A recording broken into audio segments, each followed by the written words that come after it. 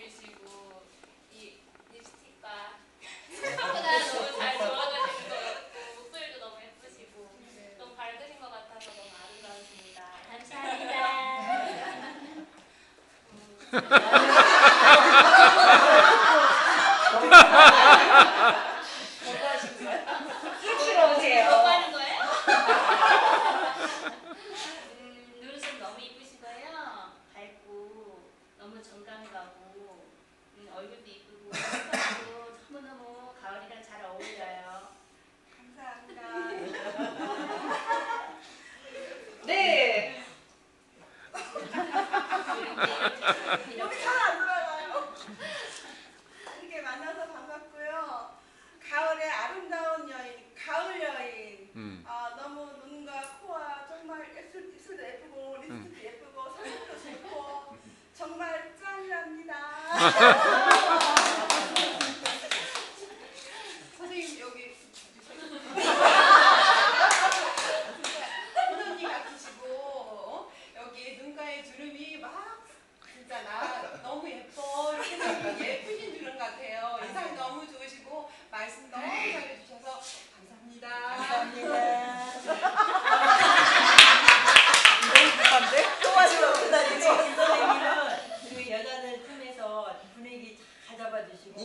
많고 뭐 인기 캡을 만드시고 또 막중한 책임을 만드셔서 잘 감당해 주셔서 감사합니다. 감사합니다. 네. 네